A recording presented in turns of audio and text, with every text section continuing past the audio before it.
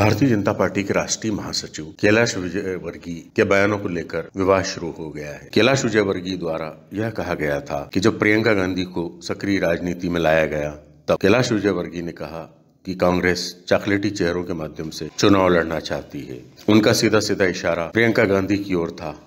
लेकिन बाद में जब पूरा विवाद बढ़ा। तो उन्होंने यह कहा कि वे चॉकलेटी चेहरों से उनका आशय बॉलीवुड अभिनेताओं के लिए था। राजनेताओं के लिए उन्होंने यह प्रयोग नहीं किया। इसके पहले मंत्री संजय सिंह वर्मा द्वारा यह कहा गया कि भारतीय जनता पार्टी वोट बटोरने के लिए अभिनेत्री हेमा मालिनी के चेहरे का उपयोग करती है। विजय वर्गीय द्वारा यह कहा गया था कि कभी कोई कांग्रेस नेता मांग करता है कि करीना कपूर को भोपाल से लोकसभा चुनाव लड़वाया जाए तो कभी इंदौर से सलमान खान के नाम की चर्चा की जाती है और प्रियंका को भी कांग्रेस की सक्रिय राजनीति में ले आया जाता है। उनका यह कहना था की चॉकलेटी चेहरों वाला मेरा बयान सिर्फ़ अभिनेताओं के लिए था। इसे राजनेताओं से जोड़कर देखना ठीक नहीं है। लोक निर्माण मंत्री सज्जन सिंह वर्मा ने उनके बयान पर यह कह दिया कि यह भाजपा का दुर्भाग्य है कि उनके पास खुरदुरे चेहरे हैं।